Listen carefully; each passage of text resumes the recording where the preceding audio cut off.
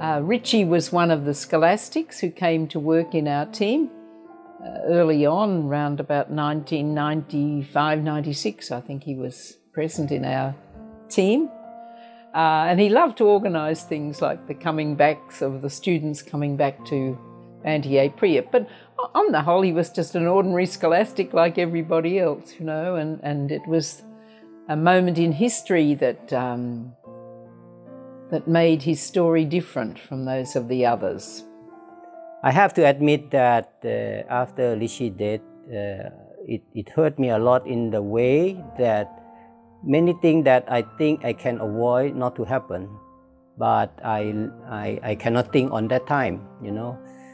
Uh, for example, right after Lishi died, after we sent back his body to Philippines, and I come down and met Kike on the stairway of the Banteay Prieb house and I cry and I tell to Kike, you know, you know, I hold I hold Sarom hand and I feel like if I hold it that way it will not explode, you know. But then they say why I let go of that, you know. And then it, it kind of sad that it happened. I'm sure that it's not it's not right to blame itself because that time it's just only less than five minutes, you know, the, all the things that happened. But it's just something that hit in our heart to, to remember the past, that thing we should do, and we did not do it. You know? Um, Richie has been my very good friend. I, uh, we knew each other since 1988 in the pre-novitiate. We were imagining uh, how things will happen in the future. One thing is that we imagined that we will be committed to Cambodia all our life. We were imagining of our, of, of, of uh, as St. Ignatius said, imagine the time when you die. And that's what we did. We imagined the cemetery and our names were there. Uh, I am imagining that if he had been here, he would been, have been a very happy companion. But now that he is gone, he has been my, uh, my patron I think for me, it's he, he's a memory of somebody who who was extremely kind to the students. Um, in, in before he died, he was he was known as somebody who looked after them in some of their well the problems that people with disability who've been child soldiers have. So he was very kind and very understanding and tried to do the practical thing that helped them.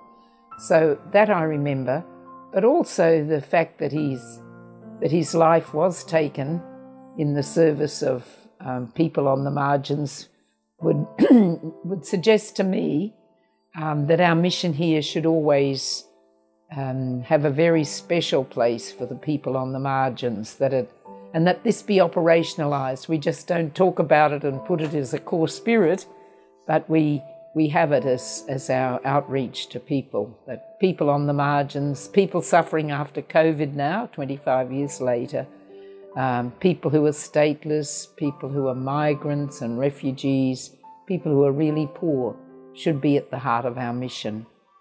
I found Lishi is a very authentic person. I think he, his, his appearance, his word, his action is sincere of of who he is. You know. The form, the outlook is not important more than the authenticity of, of who you are, of who you believe in, or what you believe in, and what is your charism, what is your direction of life, that meaning. And for me, that telling, telling me a lot. And what Lishi words is more come back to tell me that to be authentic, to be true to yourself, I think uh, Richie's death should be an encouragement for all of us to give our all and give our best for the Lord to work in this mission. I think his death should remind us of our offering.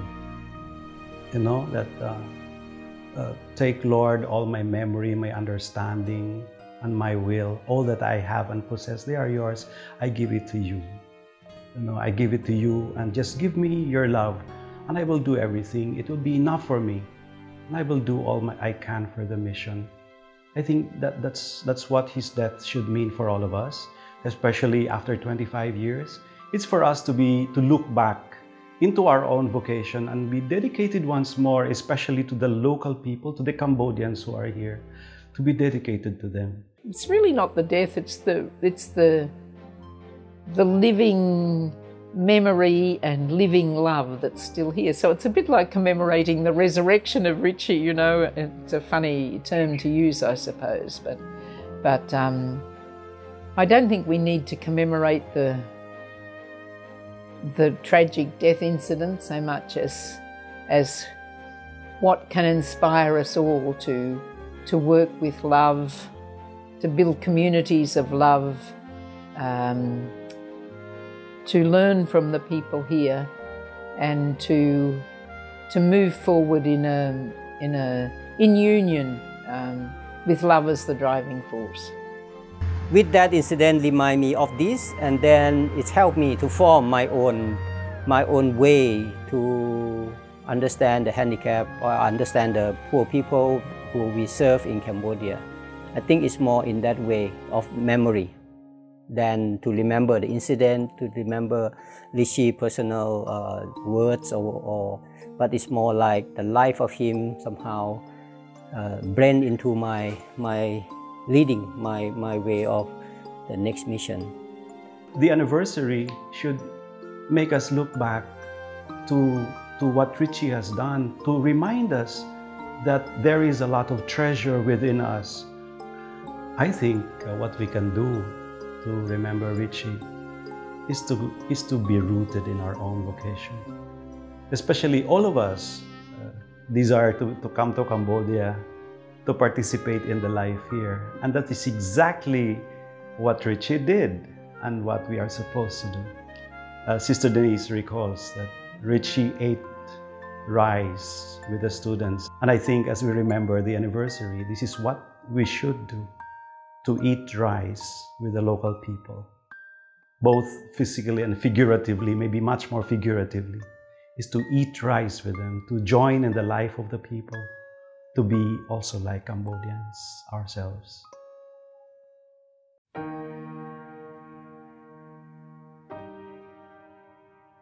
So I'm, I'm holding here three books, three uh, compilations and you will be surprised what this is, because these are the letters that Richie and myself uh, sent to each other.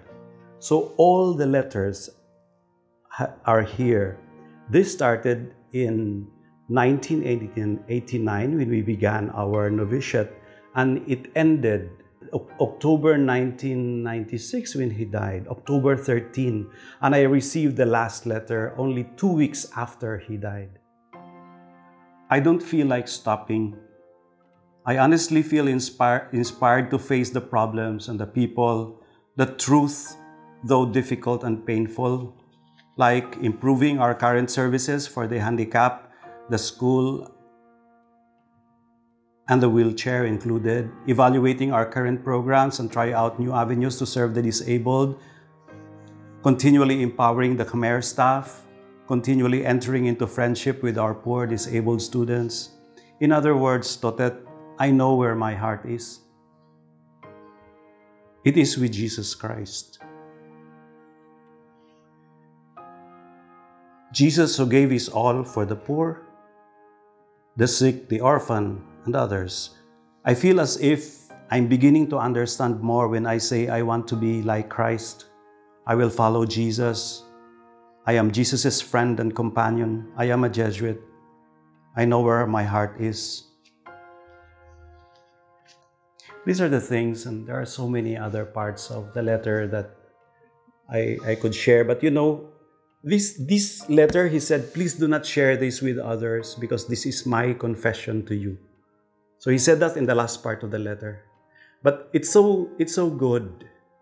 It's edifying that I think I should share it to other people because it helps to give life.